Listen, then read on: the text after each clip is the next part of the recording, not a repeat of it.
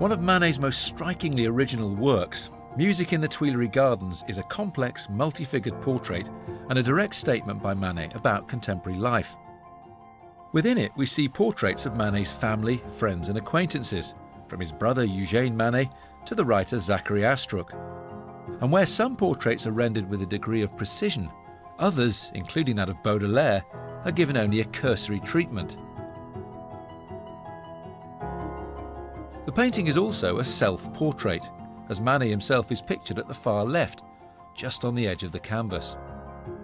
But beyond being a literal likeness of Manet and his circle, this is a kind of cultural self-portrait, and above all an affirmation of Baudelaire's ideas of modernity, of the heroism of the transient beauty of modern life, and the important role of the flaneur in interpreting and representing that beauty.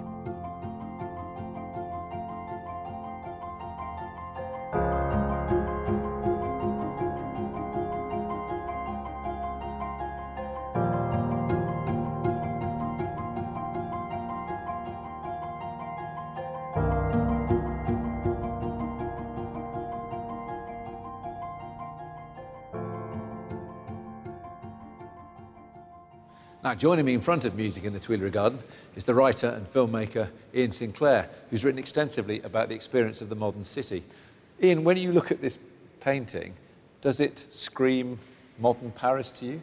It shouts about modernity. It shouts about the contact with Baudelaire, who is looking at cities in a new way and, and giving the germs of ideas that will play on for poets for generations it's quite difficult to work out what exactly is happening. I mean, we know there's a concert being given, but there's no sign of the orchestra or the band, and I've no real sense of where they are. There's no focal point. Well, I think its enigmatic and almost surreal quality is, is a germ of modernity, certainly. And the, the action is not in the frame. The music is elsewhere. What are these people doing here? It's like this hugely clotted gathering in a, in a strange space.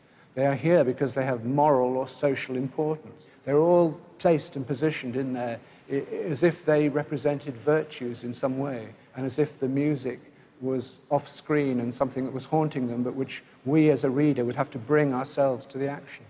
Interesting that this has been described as a kind of cultural self-portrait by Manet. And he locates himself in the picture, but only on the extreme left. So he's in the picture, but he's detached to a certain extent. Well, it's the gaze, the, the Manet gaze. He's looking at us more than at the picture. But what, what you see in it is almost a precursor of the, the artist of the moment, in that it's a wonderful example of self-promotion. He's got all the possible critics who could write about him into the picture. He's got all the dignitaries, all the social figures, all the patrons. He's lined them all up and squeeze them into this one picture.